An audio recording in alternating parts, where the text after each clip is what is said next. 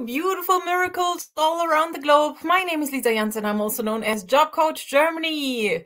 So, in case you were wondering why the Germans are quite quiet today on social media, so whether that is on LinkedIn, Instagram, or wherever, is because we have a bank holiday in entire Germany. And um, yeah, it's basically a Christian holiday, which we call Christi Himmelfahrt. Um, but in the area where I live, especially, uh, we are um, not so much celebrating this Christian holiday, but rather we call it Father's Day or also the Day of the Men. And um, that's why. Um,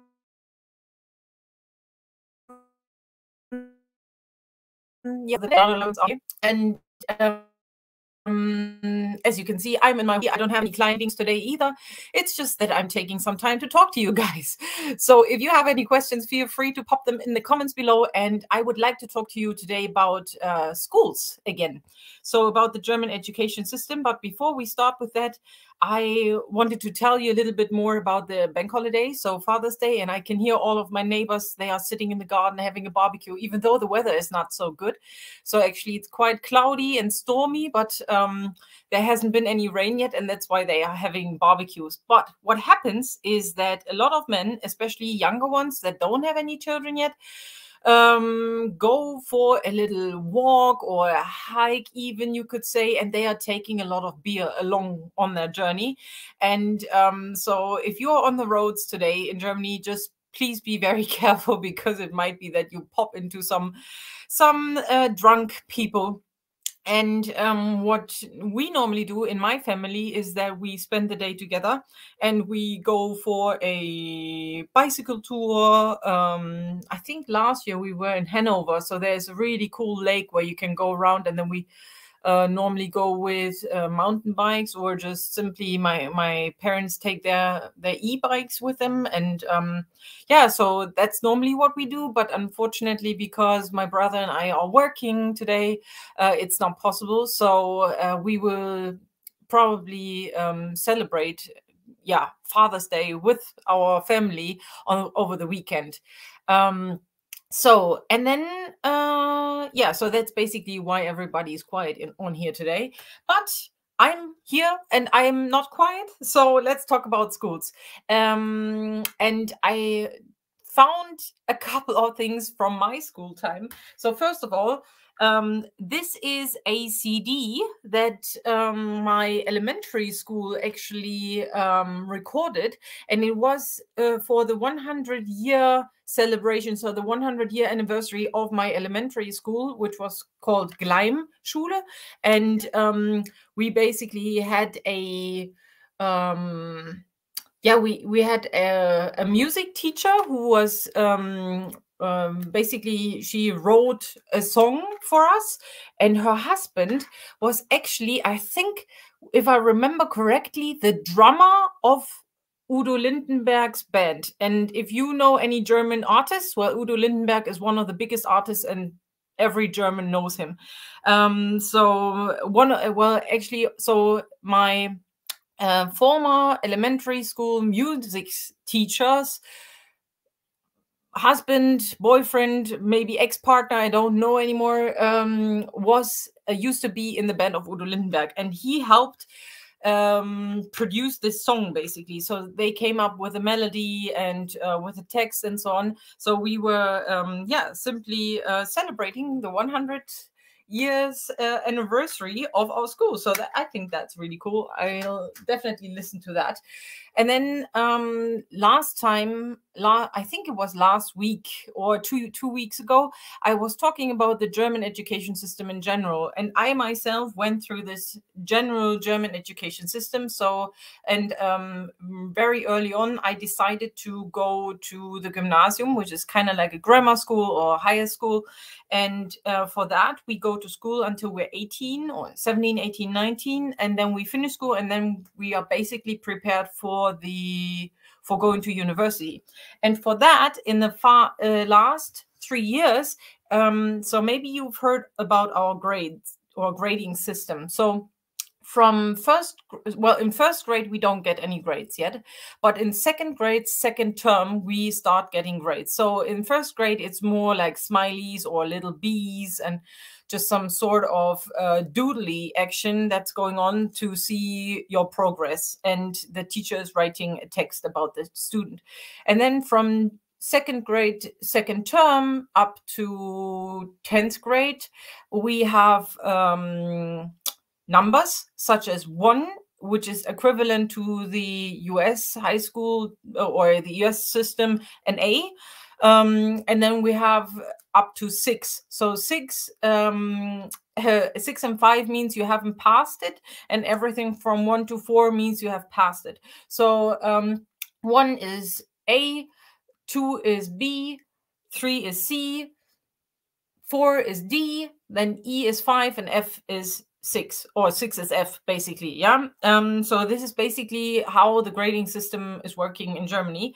And in uh, 10th, 11th, and 12th grade, uh, when you are still at the gymnasium, this changes again. So the numbers are then from 0, 0 up to 15, where 15 is an A plus and 0, 0 is an F basically. And that's basically what you then get. So I still kept that. It's called Studienbuch it basically means study book, but it doesn't really make any sense because you're not doing any studies yet, like in university, but in school. And then you basically have different terms. So you you put your picture in it, and then uh, you describe which kind of majors you have because that's what we decide majors and minors um, in in these three years already.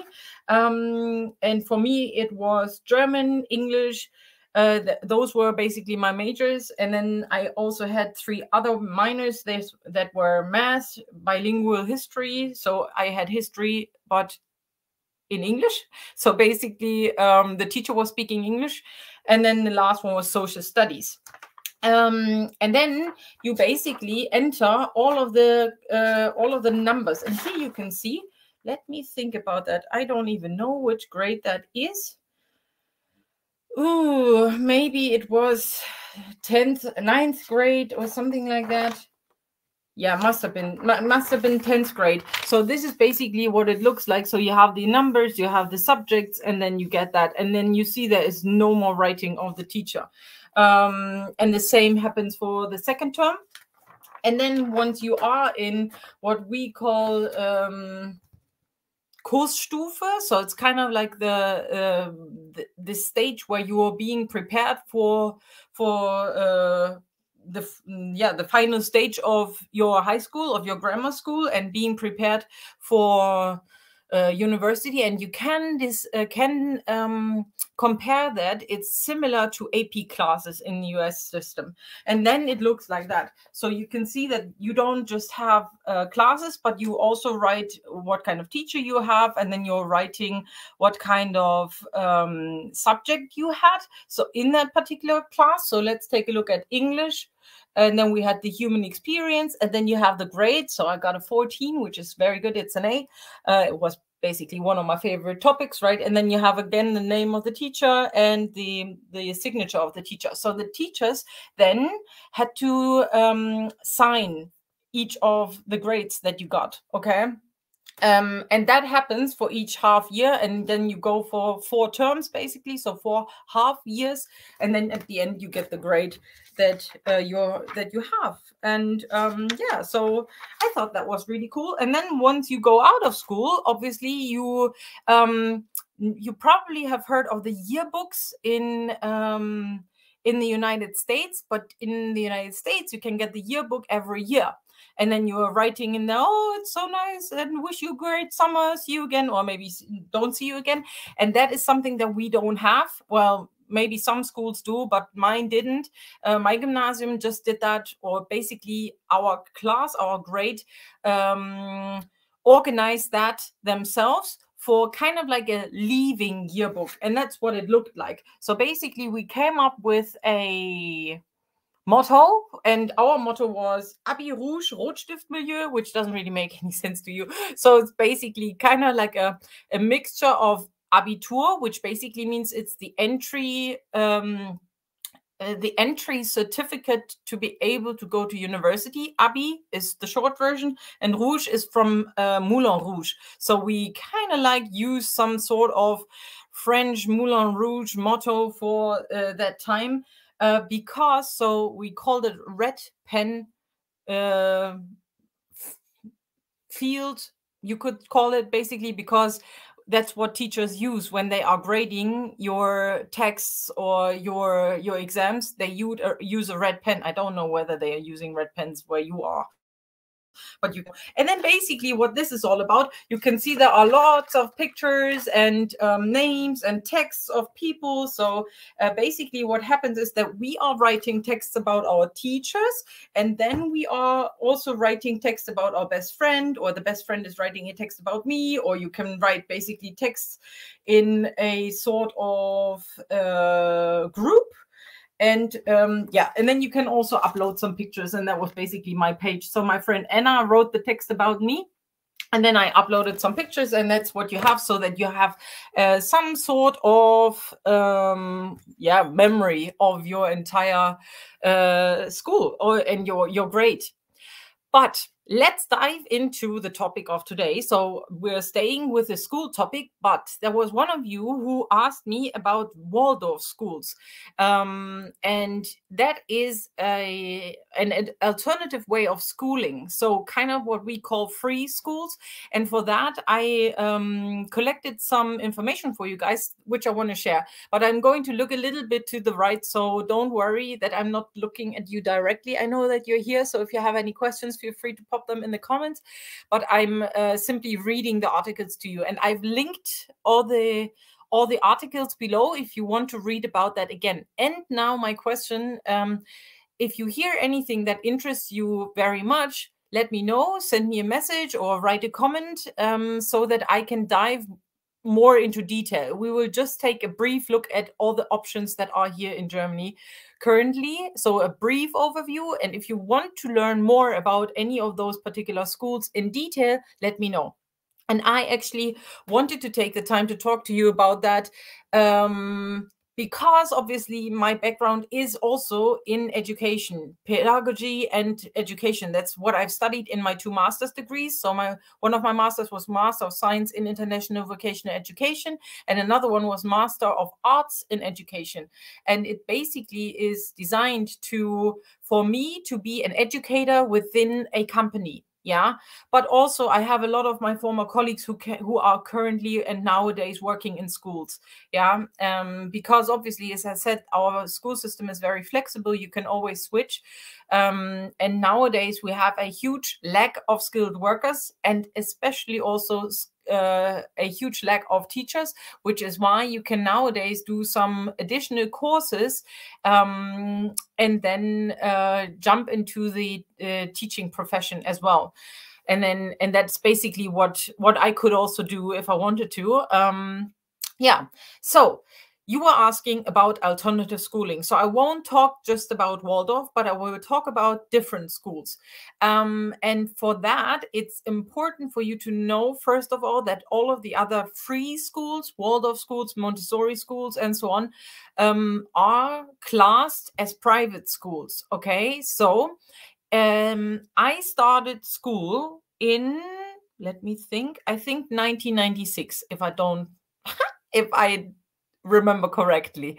And in 1996, 1997, that was basically my first year in school, we had roughly, um, let me see, 3,700 private schools. So I got this data from Statista. Statista is a really, really cool website for anybody that is interested in data.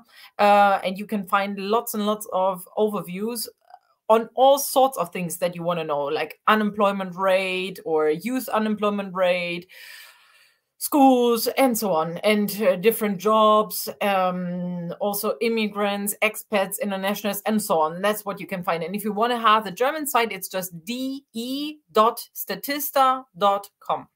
So in 1996, 1997, we had 3,700 schools, and this has risen now in the last year. So from 2020, 2021, we now have 5,855 private schools. Okay, so what do I mean by that? Um, private schools. Okay, so just give me a second. Need to find the right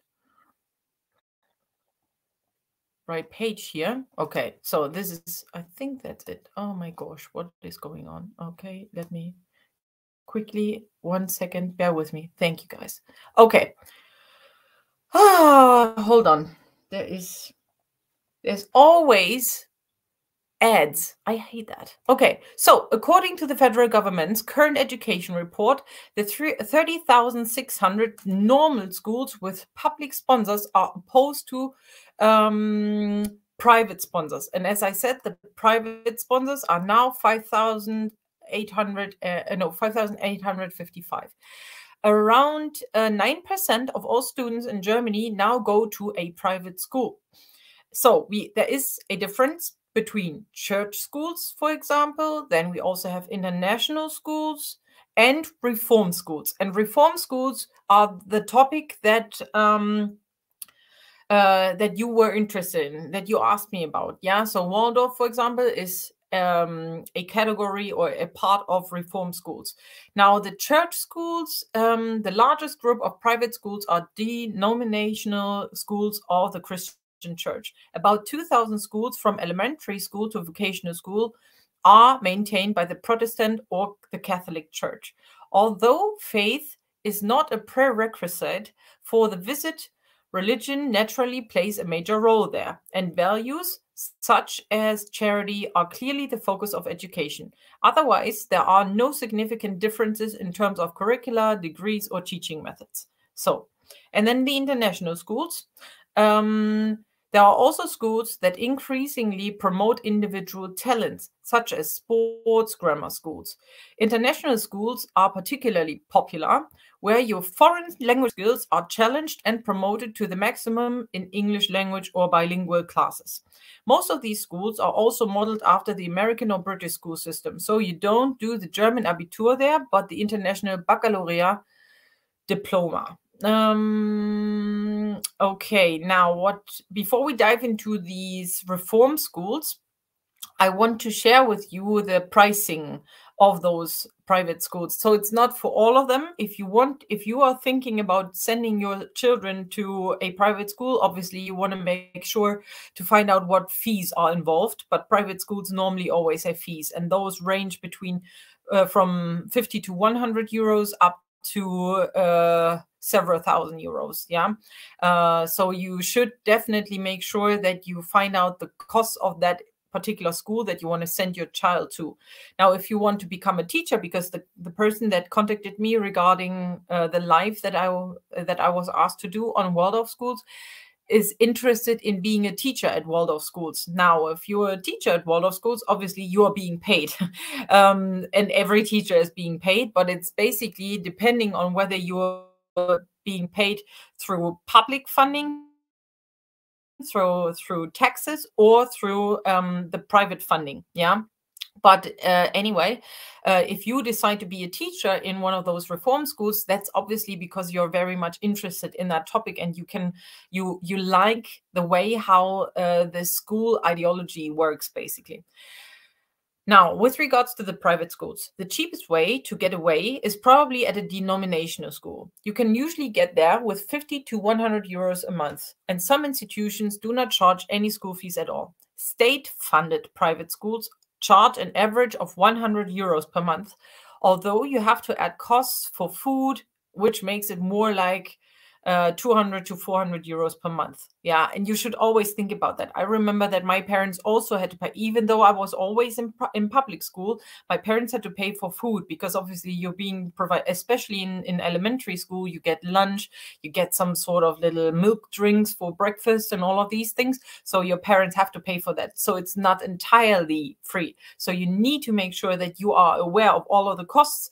that are involved once you send your child to a particular school. At non-state funded private schools, the average cost is up to 850 euros per month, but then including the ancillary costs. It usually gets really expensive at the international schools. You have to plan between 4,000 and 18,000 euros per school year. But there are also a few exceptions, such as the free John F. Kennedy German American Community School in Berlin. Okay, so if you're in Berlin and you happen to have a child that wants to go there or you want to send your child there, then you're lucky. Okay, now let's take a look at the um, reform schools. Waldorf was yesterday. Freinet Jena Plan or Club of Rome schools as alternatives. So basically, as we can see, education is always developing, schools are developing, um, or at least we are hoping that they are developing in different uh, air, uh, directions. We have different generations, different styles, different methods of how teachers teach, how students learn, and so on. And this is basically um evolving yeah which is why what was uh, uh like waldorf was maybe 20 years very like i remember so let's let's take a step back before i start that um so when I was still in school, because I went to public school, I always thought I was very arrogant and ignorant. I, had to be honest, because I thought everybody that goes to an alternative school is kind of Mm. Stupid, I would say. That's basically what I thought back in the day. And um, then I um, went to an American high school, as I told you. Yeah. And there I got in touch firsthand how schools actually uh, integrate people of different learning difficulties and also um, physical disabilities into a normal high school. Uh, so I know that one of my neighbors had um, a mental illness, but she was still able to go to school with us. Um, she didn't I didn't go to to uh, all of the classes with her, but I know that if I, for example, had taken some sort of cooking class, I know that she took that class, and I could have um, interacted with her.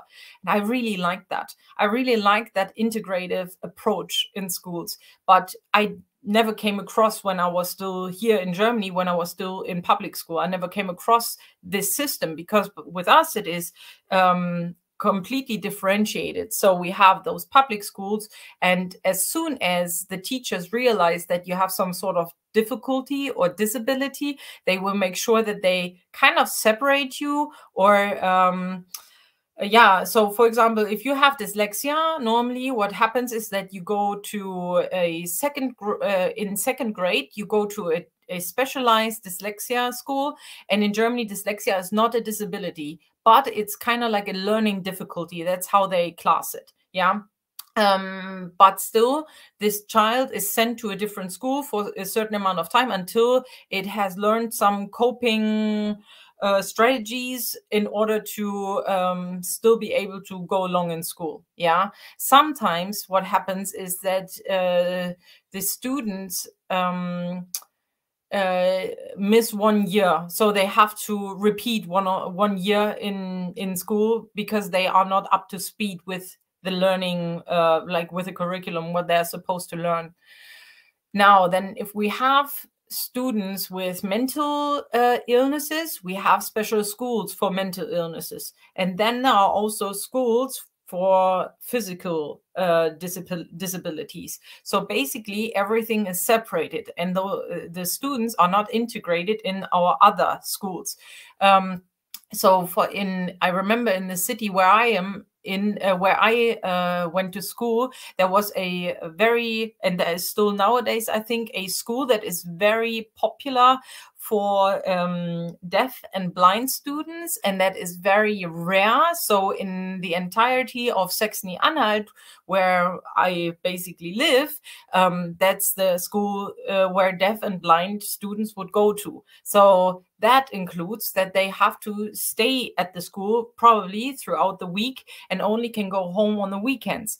Yeah, so it's kind of like a boarding school because it's so far away yeah so those those um, schools are basically limited now back to lisa a stupid teenager that was ignorant and arrogant i thought that everybody that goes to a waldorf school is um, stupid, which is definitely not the case. And nowadays, obviously, first of all, my year in the US American high school taught me that it's really good to integrate people from different um, learning standards and learning abilities or disabilities uh, because it obviously uh, makes you more aware of different people, different personalities, and different ways how people act and learn. Then I went on holiday with my parents. We went to Bali, I think. Um, and we met a girl that um, liked my brother very much, and we got in touch with uh, with her and her mom, and she told us that she is um, at a Waldorf school and that she is uh, basically able that she's very free in whatever she's doing and that she can pursue those things that she's very much interested in. And um, I remember that I was really impressed by that because she um, wasn't forced to learn certain things that she didn't want to learn, but she was able to fully engage and increase her skills in those fields that she was really interested in. And she was a what we call she's nowadays what we call a Konditor. So basically a person that can make cakes, but like really like like cakes that you would expect at a huge massive wedding at or at fairs so she is really talented and that was when i had a switch in my head and i thought wow that's just just very impressive and then obviously at some point i also went into uh, studying more about pedagogy, more about education. And that's when I learned about those alternative ways. And I have to admit, having uh, studied about the education system in Germany, having studied about alternative ways and how the pedagogy has developed, how teaching skills have developed, I now have to admit that I'm a massive fan of all of those alternative schools because I, so and I'm not a big fan of the public school system anymore because it's just it for me it feels like students are being pressed and into a box and then they come out a certain way if the if you don't fit into that box unfortunately you have to you you're probably breaking down either personally or you have to break out of school and then you drop out or something else happens. Um, so i'm a massive fan of um, enabling the individual yeah and uh, that is what happens at those alternative schools. Now the reason why i think that our public schools are lacking in my eyes is pe simply because they are not developing at all. So teachers get their set of curriculum that they have to teach no matter what happens. They have to pressure the students through that. There are exams and they are like across the board. There are like if there is the um if there is this massive exam for math, for example, it's the same exam in entirety of Germany, whether you had a great math teacher or not, whether you are good at math or not. It's the same exam in the entirety of Germany, and they're all writing it on the same day. Okay. Um, so um, basically, what happens is that you have to. Uh, yeah, so teachers are pressured, students are pressured, and nobody is really taking into consideration what uh, the student can thrive of. Um, and I remember, and it's still, I think nowadays, like in the in the what they always call the, um, the newer areas of Germany, basically the former GDR. Uh, are those places where there is um, some sort of centralized abitur and you didn't have a choice you had to write math you had to write the math exam. But whereas when you go to Bavaria, for example, it's not the, the same. You could uh, Bavaria, other in other states in Germany, you could also just simply focus on languages. And I always I thought that was really unfair for me because if I were to just simply write or, or take all the exams in the classes that I were good at, such as all the languages, I would have had a definitely better overall grade even though my grade was great, was very good. Yeah, I'm satisfied with what I got, but at that time I was still very I thought that was unfair. And also that it has a ripple effect because the grade, like the overall average that you have once you leave school, um, has uh, yeah will impact what kind of university spot you get.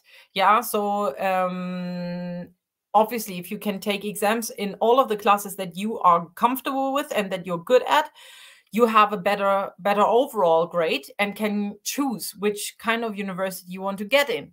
For us where we had to take math for example um, and other classes that you were probably not good at um, it was more difficult to achieve those grades in order to get into those schools or the universities you wanted to get in so it's kind of difficult i hope you uh, i didn't lose you at this point but so from my point of view the school system, the public school system, hasn't changed for hundreds of years.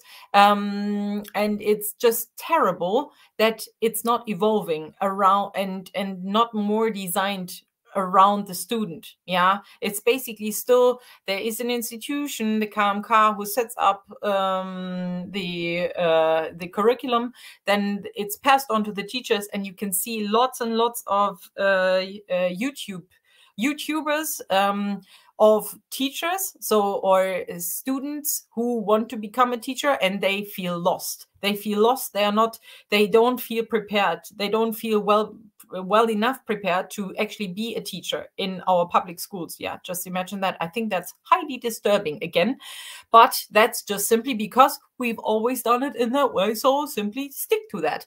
And um, that's why nowadays I'm a massive fan of alternative schooling. I'm a I'm also always very interested in uh, homeschooling, which is not an option in Germany. It's illegal to homeschool your child in Germany.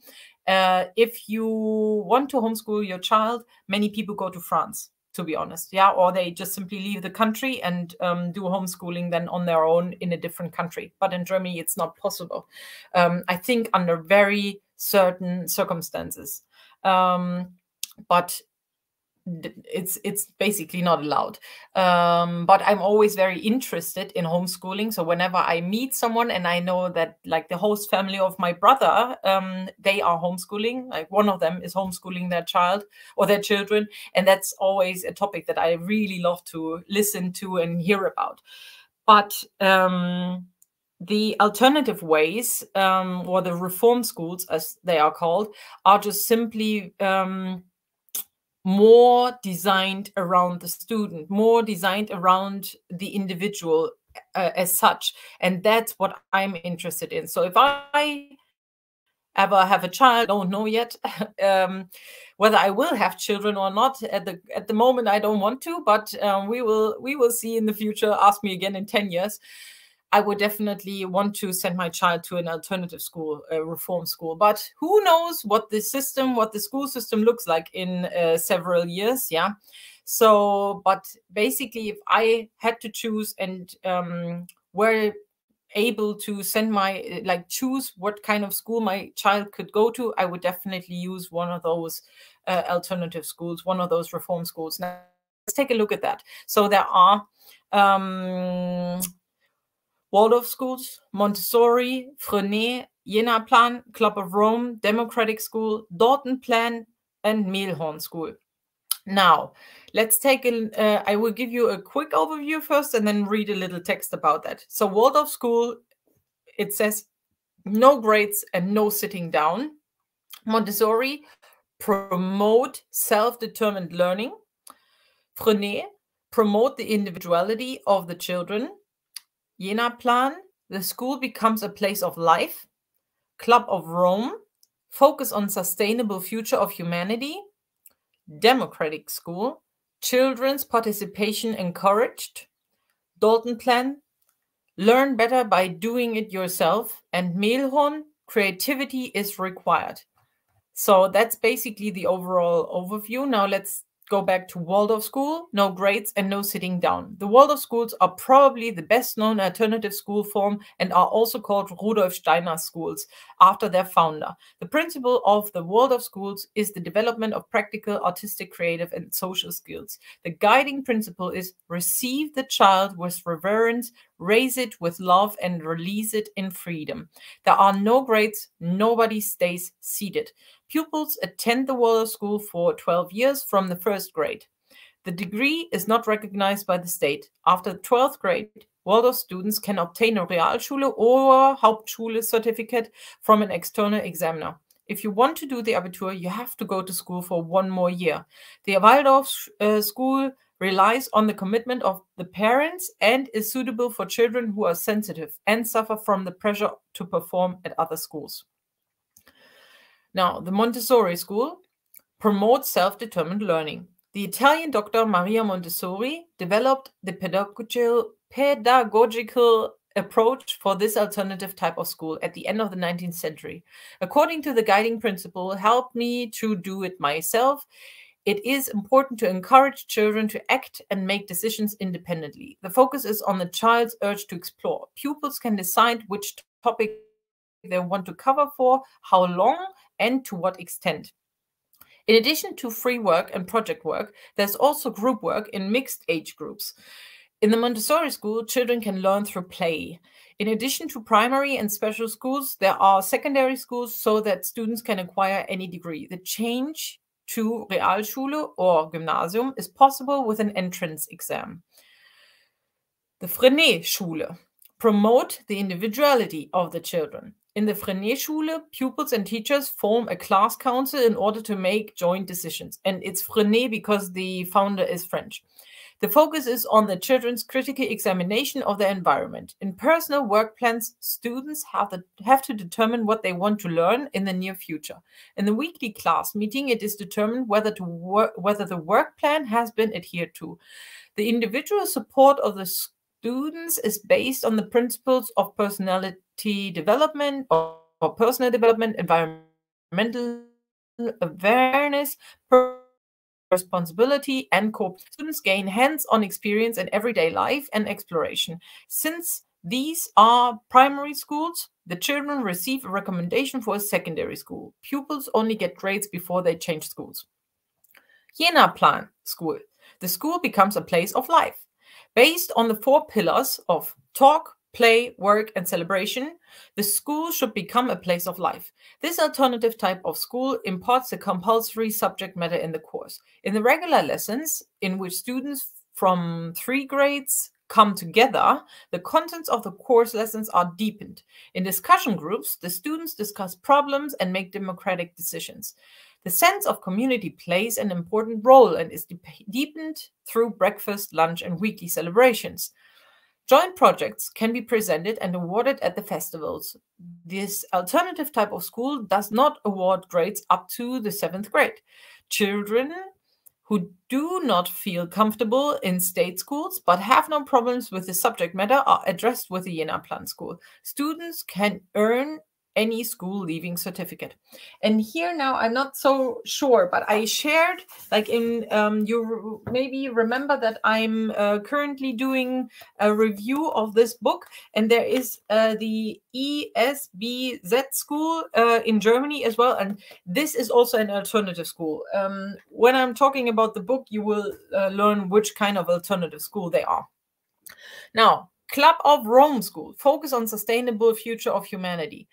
This alternative form of school is committed to, to the sustainable future of mankind. Important topics are sustainable development and the protection of ecosystems. Holistic educational concepts and learning beyond the school horizon play an important role. Children should be supported with their strengths and weaknesses and strengthened in their self confidence. The holistic concept includes teamwork, learning laboratories, respect, personal responsibility, musical support, and lots of exercise. There are 15 such schools in Germany. There are community schools, elementary schools, comprehensive schools, and high schools, so that every degree is possible. The alternative type of school is suitable for students who do well at state schools, at state schools, but want to gain lasting experience. The democratic school, children's participation encouraged. This alternative type of school is characterized by the fact that there is no fixed curriculum and the students can arrange their daily routine according to their interests. Students can choose different projects, courses, and activities and also visit extracurricular learning places. Self determined learning with all your heart without pressure. That's what is asked. As chaotic as it may seem, it is structured. Teachers and students have equal voting rights in a weekly school assembly and make joint decisions. The aim of the democratic school is an intermediate school certificate for which the students are prepared for an external examination. If you want to go to high school and do the Abitur, you have to pass the exam well. The alternative form of school is not focused on grades and degrees. It is suitable for all children, but some parents have difficulties accepting the self determined concept. Now, I think there are two more left. Yeah. Dalton Plan School, learn better by doing it yourself. Independence is a priority at the Dalton Plan School. The concept for this alternative form of school came from Helen Parkhurst, who worked closely with Maria Montessori at the beginning of the, 19th, of the 20th century. Children are given free time to design. At the beginning of each school year, they receive a work package that they have to work through independently in weekly steps by the end of the of the school year. Um, yeah, so they have weekly steps and they have to finish it by the end of the school year. The children are given grades based on the results of their written work. The teachers are available to the children as learning assistants. In Germany, there are still no pure Dalton plan schools. However, the concept is issue is used by some mainstream schools. Since these schools are heavily focused on written work, children need to learn a lot um, to have um, self-discipline. Yeah. Uh, and now the last but not least, Mehlhorn School, creativity is required. The concept for this alternative type of school is still quite new, as the first school was only founded in 1997 by Hans-Georg and Gerlinde Mehlhorn. Based on the three pillars of talent, intelligence, and personality, this alternative type of school is also known as BIP. So as BIP Creativity School. Mm, why is it BIP? Intelligence, personality, and what's the B for? Hmm, interesting. I will take a look at that. uh, from the first grade, children have to learn to play a musical instrument outside of school. In addition to the state curriculum, there are subjects such as English, two other foreign languages, one of which is non European, chess, computer science, linguistic design, performing game, uh, or like gaming, then musical creation, artistic design, dance, and movement. There are grades from the first school year. If a grade is worse than two, the children receive support measures. These are all day schools. The desired school leaving certificate is the Abitur. This alternative type of school is only suitable for inquisitive and persevering children with the appropriate talent. Okay, so the conclusion here of this article is a multitude of alternatives. You can see that there are numerous alternative schools and that it might be difficult for parents and children to choose the right alternative school. Most of the alternatives focus on independence, self-determination, and individual support. Many schools appeal to children who do not feel comfortable in mainstream schools. So basically my resume or my conclusion of this all my summary to put it into a nutshell would be that um, i'm a fan of alternative schooling compared to public schools because of the pressure. Yeah so uh, for me it was easy to go to uh, through public school and i really enjoyed my school time but i i'm really uh, sad and devastated about the fact how many children we have from elementary school onwards that are already suffering from burnout. And that is simply due to pressure pressure from their uh, teachers from their peers from the teacher uh, and parents yeah? So and that's basically that something that i don't like. And you always have to think about if the teacher is asking the parent that um, they have to help them to uh, do their homework I think children should have time to play.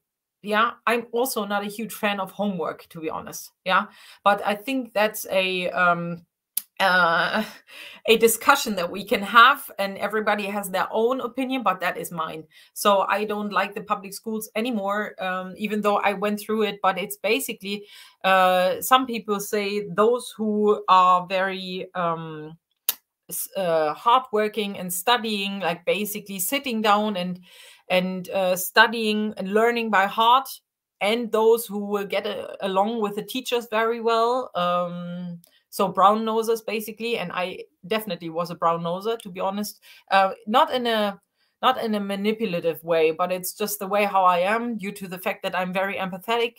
Um, it was easier for me. For those who were not brown nosers, who were not studying hard, it is difficult. And um, I can say that at the end of my school life, I definitely had a lot of knowledge, um, but it was not individualized. It was not according to my needs. It was not according to my talents. That is something that I realized very much later on.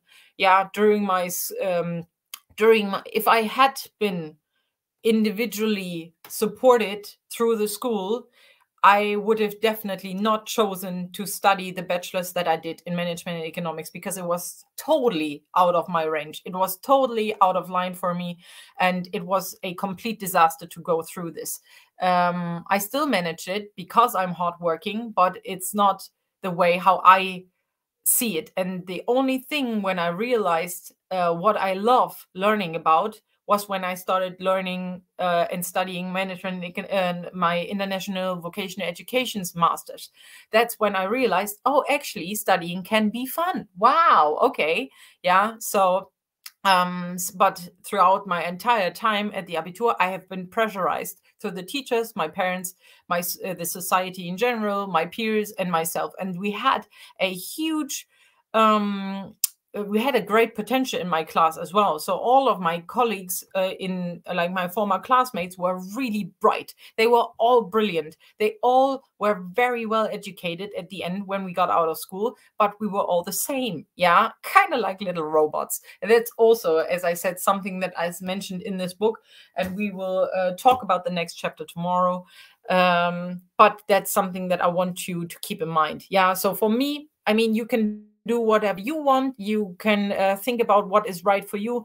But for me, um, it's definitely going to be an alternative school if I ever have to choose, um, because I'm not a fan of pressurizing children anymore. We should enable our children for more independence, self-determination, and individual individuality, and obviously showing them how to deal with certain topics that are not even a part of the curriculum, such as finances, such as um, uh, work-life balance and mental health and how to uh, take breaks and definitely how to grow your own plants and how to how to go out in nature because obviously we are in a digital age and we're using our computers all day but hardly anybody knows how to uh, yeah water a plant. So uh, that's definitely something that i would be interested in. Um, i hope uh, this was interesting to you. So again, my uh, question for you all is, if you are interested in one of those schools in more detail, let me know. Send me a message, uh, write a comment, and I will uh, for sure make another live on that if you're interested in that because obviously my educational background i'm really interested in those topics even though they're only partially related to job coaching but it's obviously a part of that because first of all job coaching might be of interest to you if you want to become a teacher in Germany, that's fine. You can contact me if you need your if you need help with regards to your job application and the entire job application process. And also, the education system in general and the alternative ways are important for you to know in order to understand what the people that are in our workforce nowadays in Germany have gone through. Yeah. So I hope you found that um, interesting and let me know what you think, whether you have a favorite version or a favorite school so far. And um, yeah, thank you very much for spending this uh, wonderful uh, day, this wonderful holiday uh, with me today. And I'll speak to you hopefully tomorrow. Thank you and bye bye.